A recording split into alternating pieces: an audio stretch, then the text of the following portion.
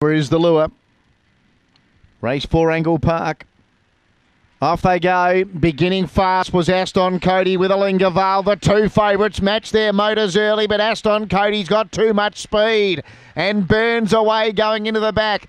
Alinga Vale was second, then H. Becky Vale and Tronald Trump was last. Up the back, Aston Cody led by four. Alinga Vale hasn't thrown in the towel yet. A gap then to Becky Vale, H and Tronald Trump on the bend. Aston Cody going well, holding Alinga Vale, and Aston Cody wins from Alinga Vale, who tried hard.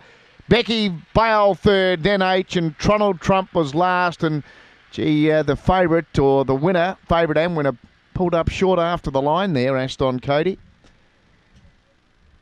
Aston Cody.